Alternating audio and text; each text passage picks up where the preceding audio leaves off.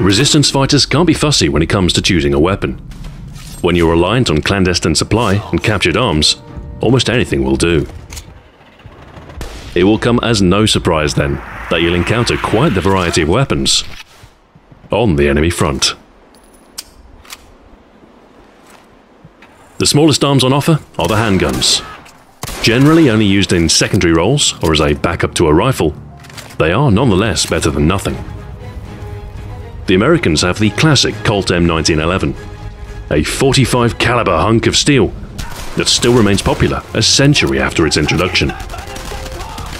Designed by the legendary John Browning, the short recoil swinging link design can be found in many contemporary semi-automatic pistols. The similarly iconic German Luger P08 can be credited with the introduction of the 9mm Parabellum cartridge. An outlandish and somewhat costly design, the Luger was officially replaced in service by the Walther P38 before the start of World War II. But the Luger remained a popular sidearm and desirable war trophy. The Mauser C96 is an unusual early semi-automatic pistol that dates to the days of the German Empire. It was known as the broom handle due to its rounded wooden grip. But the absence of a detachable magazine is perhaps its most notable feature. Instead, the 10 rounds internal supply is replenished via stripper clip. Not quite as convenient as an interchangeable magazine, but an effective enough solution for the era. Perhaps most interesting of the handguns on offer is the British Welrod. Its unusual appearance due to an integrated suppressor and less than conventional mode of operation.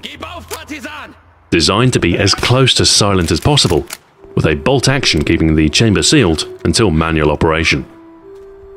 This meant that the weapon was exceedingly quiet, ideal for assassination and covert operations. Shotguns are generally associated with police and civilian use, but they do occasionally find function within a military role. The trench gun is a pump-action shotgun made by Winchester, also known as the Model 1897. It proved its worth in the trenches of World War I and reprised its close-range sweeper role in limited use during the Second World War, as automatic weapons somewhat displaced the shotgun's role. Indeed, submachine guns were the close-range weapons of choice in World War II, with their automatic fire making them much better suited to urban combat. Few sounds are as terrifying as the chatter of the German MP40. An efficient, yet effective design, originally used by paratroopers and squad leaders, but becoming increasingly desirable in the later stages of the war. Supplies were limited, however, despite the weapon being relatively easy to manufacture due to its all stamped sheet metal construction. The British Sten gun shares this trait, with its simple design requiring little machining, nor any difficult to find materials. Chambered in the same caliber as the MP40, the weapon could even take German 9mm magazines, helping bolster supplies through captured salvage. Most notably, the Mark II S variant depicted in-game comes equipped with an integral suppressor, greatly quieting the weapon, although sustained fire will heat up the weapon rapidly. The canvas handguard serves to protect the user in such cases. The Polish Lightning SMG is similar to the Sten. Again, designed for ease of manufacture and its ability to use enemy magazines. Known as the Błyskawica in Polish, it was covertly mass-produced in occupied Europe to arm the Polish resistance, proving instrumental during the Warsaw Uprising. The Russians were also present on the Eastern Front and the PPSH-41, or the Papasha, was their SMG of choice, alongside the later, cheaper PPS.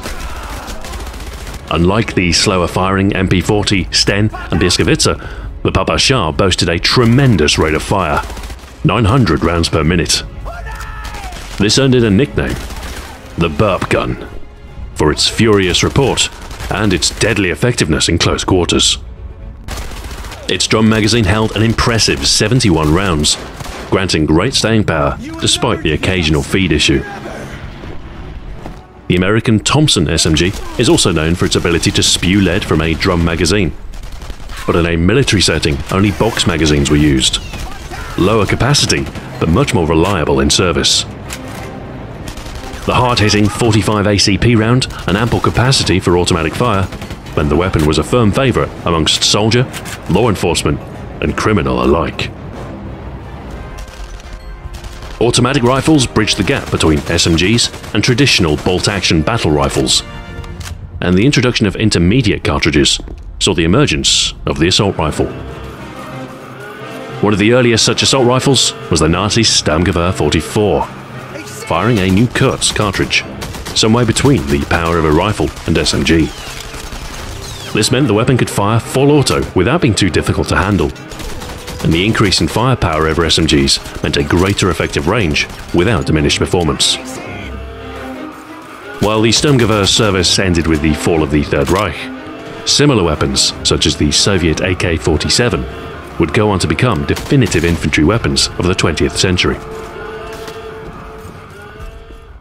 The Fallschirmjägergewehr 42, or FG-42, was another automatic rifle, developed specifically to fill the needs of German paratroopers.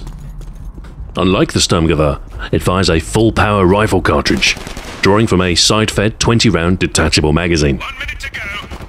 While it only ever saw limited service, the weapon would influence later light machine gun designs, with the American M60 taking some influence during its development.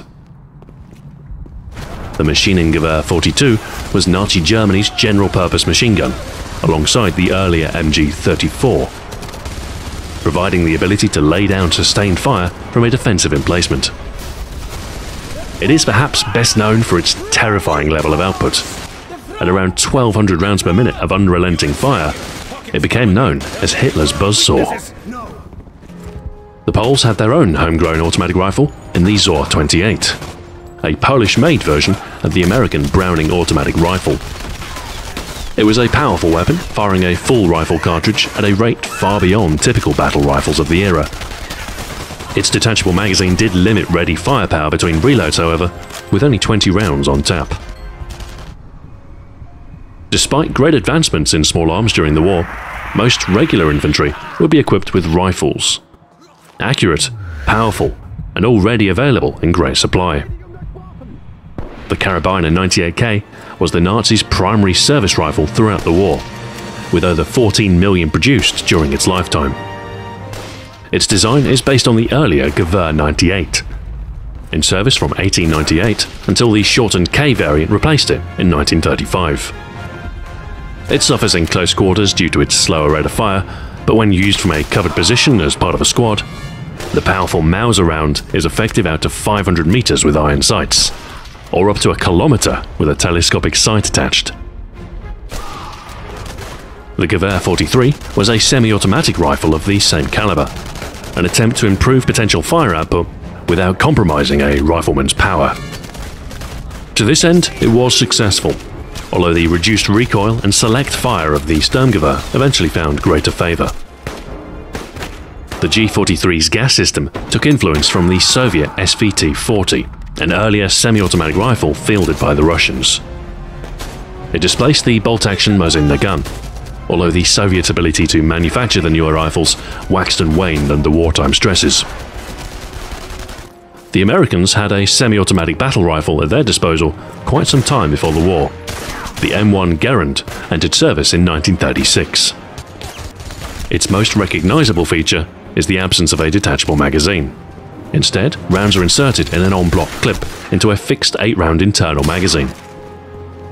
Upon expenditure of these rounds, the weapon would automatically eject the clip with an audible ping, alerting the user to their need for a reload.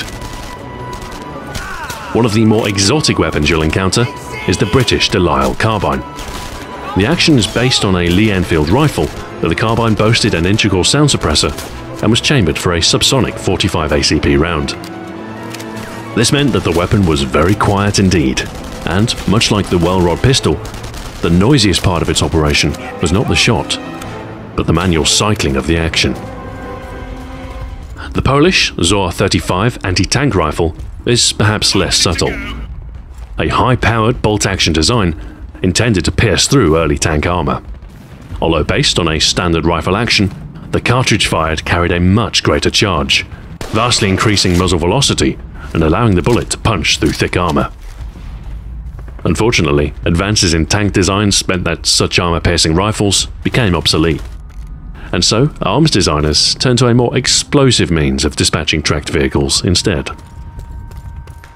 Unbridled detonation is a potent destructive force. Anything can be reduced to smouldering rubble with the application of enough TNT.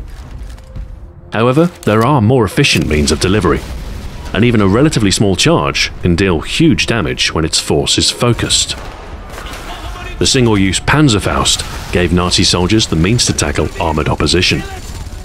And rather than rely on the projectile's kinetic energy, the warhead uses a shaped charge to punch through armour more efficiently. The explosive is shaped into a hollow inverse cone, and lined with ductile copper. Upon detonation, the explosive force is directed onto a single point, and the resultant jet of molten metal is capable of surprising penetration. The American bazooka was similar in effect, although more capable against thicker armor and able to reach targets further away. Its more durable construction also meant that it was reusable, but much heavier and more expensive as a result.